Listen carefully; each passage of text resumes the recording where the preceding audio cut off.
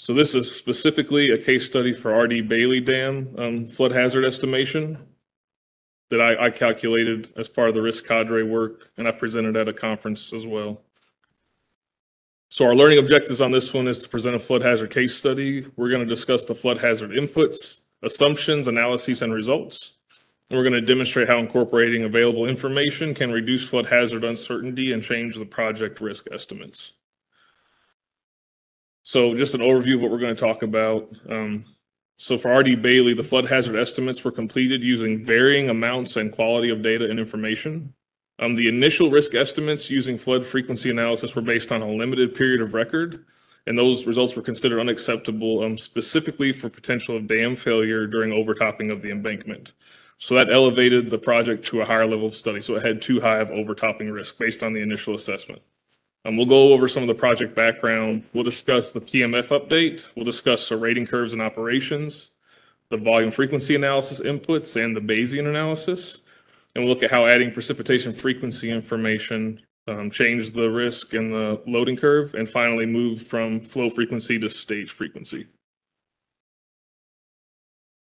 All right, just some background here. RD Bailey Dam is on the Guyandotte River Basin upstream of Huntington, West Virginia. It has a drainage area of about 540 square miles.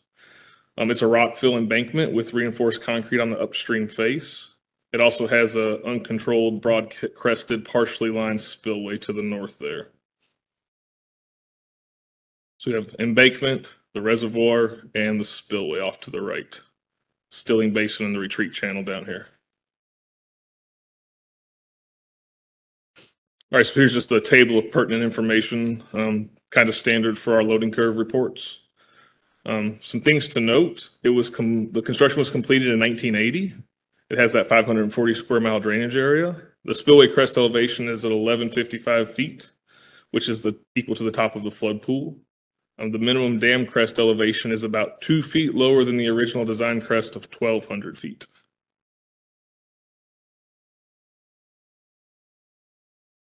You can see the original design freeboard, they had five feet of freeboard. So whatever spillway design flood they used prior to construction, they built it five feet higher than that. So the PMF update was completed ahead of the IES study. Um, and what we would, the PMF was completed at a base level effort or a screening level effort. Um, and that resulted in a little over a seven feet of overtopping of the embankment crest for a, a duration of about 10 hours. So in the end, this risk assessment only had one risk driver that was overtopping of the embankment during a large flood like a PMF. So because of the combination of the frequency and consequences, the risk was above our tolerable guidelines. So this warranted further study and went on to an IES study. So because we're dealing with an overtopping failure mode here, we needed to extend the different rating curves to account for those higher pools beyond original design. Um, we wanted to do this using better tools than were used in the PMF study. So we did some digging and found equations and coefficients from the original spillway design, and we used those to match and extend the spillway rating curve. Um, by we, I think it might have been Ryan in this case. So according to the water control manual, the maximum, that's good work, man. So according to the water control manual for this project, project um, the max flood control release is 5,000 CFS. The sluice gates assumed max release of 10,000 were based on coordination with the district. So again, you know, the water control manual might say something, in practice they might do something else. It's always worth coordinating with the, the project operators to best understand how your project's going to operate. Um, we used a CREST survey and an HEC RAS 1D steady flow model to do a better job of quantifying what the overtopping discharge would be on the dam crest. So I know a lot of times we simplify it to a single elevation with a weir calculation. A little more work if we have a survey as we can plot the actual crest elevations and do a weir calculation like that in a program like RAS. All right, so let's talk about the volume frequency inflow data we used. There is readily available USGS gauge data prior to the dam construction both upstream and downstream of the current dam site. Um, available daily and peak flows were used to estimate peak annual two-day volumes at the dam site for years 1929 to 1968. That added 40 years of additional systematic data. Um, yeah, and notice that we mentioned a data gap from 1969 to 1979, so about 10 years before the dam was built. And also notice that the historical data at the Logan gauge was used to extend the period of record even longer and do some additional sensitivities. But this gauge data ultimately was not used in the period of record because the gauge was farther downstream and we couldn't corroborate it with uh, any other gauge data. So this was the final period of record used in our analysis. As you can see, again, we have that data gap from 1969 to 1979, and we used a perception threshold to fill that. And we, we limited it based on some of the largest observed flows that we had in our record. Um, again, if something greater than that threshold happened, it's likely it would have been recorded. So this period of record, prior to any regional information added, has an equivalent record of about 80 to 85 years total. Okay.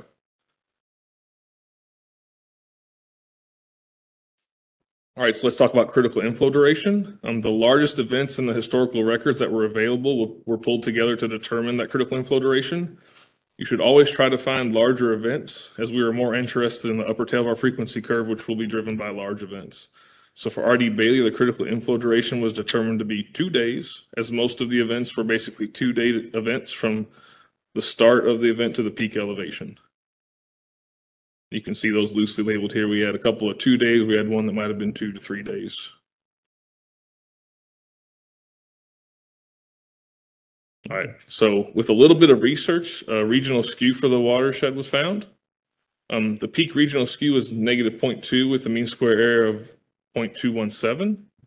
Um, because RD Bailey has a two-day critical inflow, it was decided that the peak regional skew was still appropriate to apply to our two-day duration volume frequency analysis.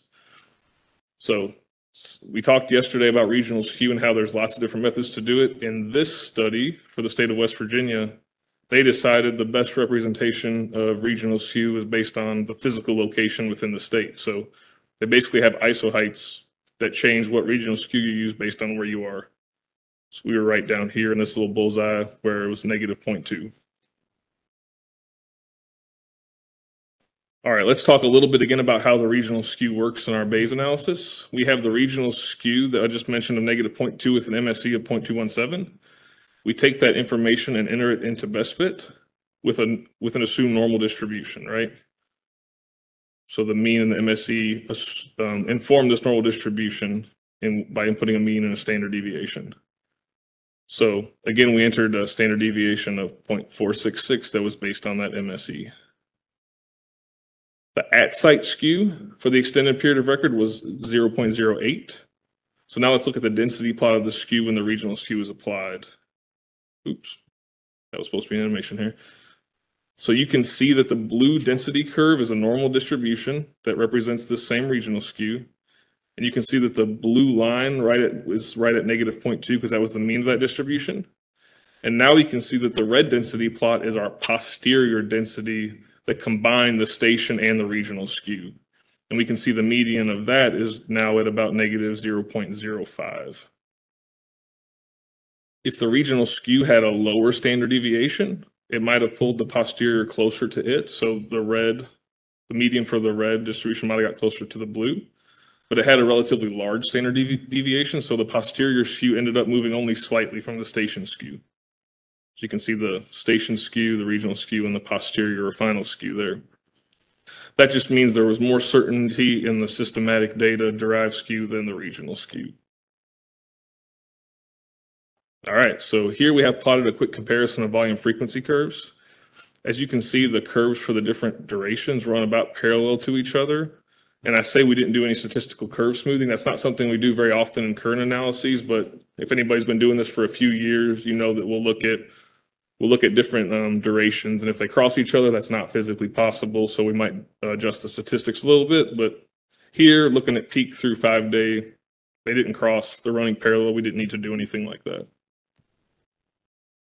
All right, I wanted to stop here before moving on, just so you can have an idea for the change effects of adding data for, for this project. So this is the flow frequency curve that was originally used that included only inflow records after the dam was built, so just 1980 and after. So at that screen level effort, this left the overtopping failure as the risk driver. So look how much uncertainty we have. Um, look at how far our expected curve is from our posterior mode curve, right? So short period of record means a lot of uncertainty, results in the, the average or the mean loading being pretty frequent. This is how the flow frequency curve changed with the addition of just readily available USGS gauge records prior to dam construction. So this shows you right away how important it is to do just a little bit of digging for historical records. So this flow frequency reflects that period of record that we looked at a few slides ago that went all the way back to 1929. Um, the red curve here is our two-day PMF volume, which was driving our overtopping risk. Notice that it shifted one and a half orders of magnitude to the right from when we were just using 1980 to current um, inflow records. This flow frequency curve now reflects the addition of the regional skew. So even though the regional skew had a large standard deviation, so we had less knowledge or certainty, it still tightened our credible intervals or our uncertainty to shift the estimate of the PMF volume by almost an order of magnitude to the right. So you can see that the credible intervals tightened about an order of magnitude overall as well. So now if we look back, we have seen the PMF volume move about two orders of magnitude total just by adding readily available information. All right, so now let's look at the precipitation frequency analysis. This was one of the first projects that we applied um, precipitation frequency in the Bayes analysis. Um, for RD Bailey, it was determined that the critical precipitation duration was one day. So that's different than our inflow volume, um, our critical inflow volume duration of two days. Um, the areal reduction factor this, for this basin size and the critical precipitation duration came to be about somewhere between 0.79 to 0.82, right? So we had a little bit of uncertainty about that. And but however, we went back and looked at some HMR 51 index storms, and the index storm number one was really close to our site, and it had a 24 hour areal reduction factor of 0.94 based on those depth area duration curves and tables. So we decided to go with the higher end of the range of 0.82. So I'd like to put this in here because we do have standard processes, right? We do have spreadsheets that step you through we have curves, we tell you what to do, but it's okay to do a little bit of engineering judgment if you have reasons to stray from the standard a little bit. So um, after we pulled all of our NOAA Atlas 14 precipitation data for um, all three curves, so that's the upper, the lower, and the computed curve, we extrapolated them using a GEV fit with a, a spreadsheet tool we had at the time. All right, so we used our spreadsheet tools to walk through the process to scale the hydrographs and prep the data to route through HEC HMS. So what Alan talked about in his precipitation frequency presentation. Um, per our standard guidance, the depths were scaled and routed for three AEPs, again, standard uh, 10 year, 100 year, and 1,000 year AEPs. Um, we used our HEC HMS model that was calibrated and validated, and it was set up with three different basin models reflect, reflecting a range and loss rate parameters, as well as using three different observed event hyetographs to sample the variability of rainfall patterns that we have observed over our basin. So the routing results from our computed NOAA Atlas 14 curve with our best estimate losses from each of our three observed storm event shapes are plotted here as orange squares. And along with that, the maximum and minimum routed results are plotted as blue squares, just to show you the total range. And those are plotted on our two-day Bayesian flow frequency results that just considered our pre and post dam systematic data and incorporated the regional skew. So we haven't incorporated any precipitation frequency information yet. Um, the modeled runoff results using regional precipitation frequency were then directly incorporated into our Bayesian analysis by estimating the prior distributions of discharge for each of those specific AEPs or quantiles. Um, the distribution of discharge was estimated again for the 1E minus 1, 1E minus 2, and 1E minus 3 AEPs. So just make sure everybody's following. For these three AEPs, we estimated a mean standard deviation that represented the range of rainfall runoff results we got, incorporating the precipitation frequency. All right, so the quantile priors representing the rainfall runoff results are shown by the red squares with error bars here.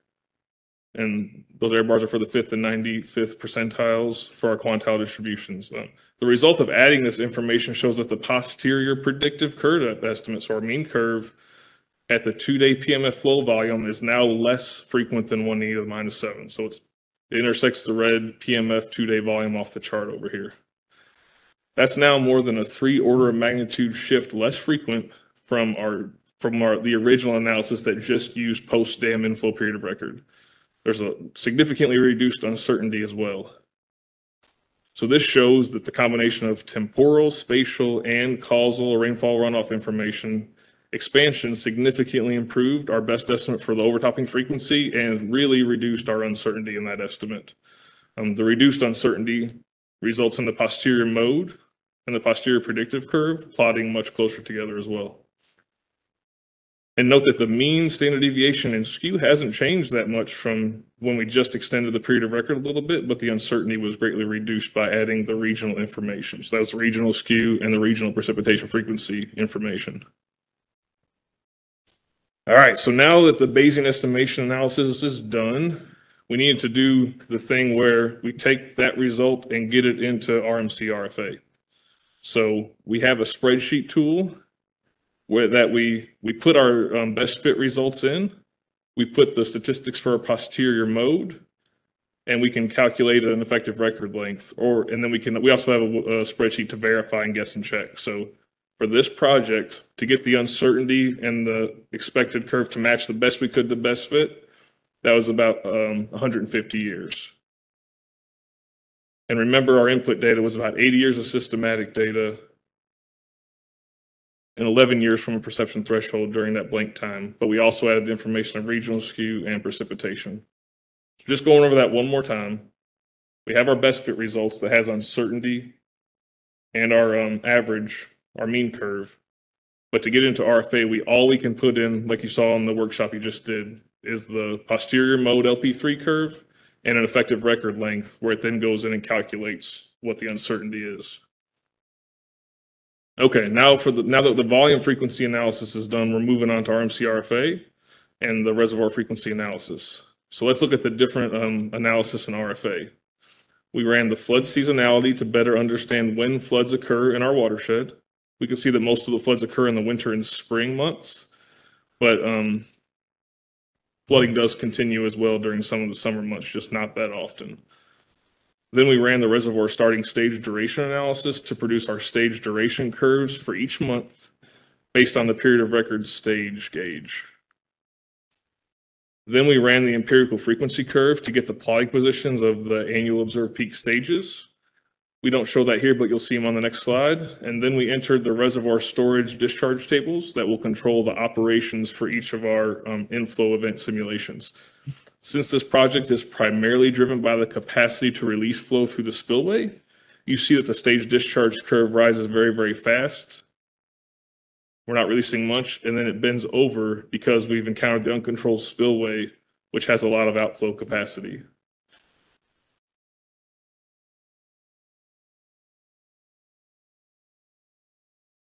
All right, so this is a taking a look at our different stage frequency result sensitivities.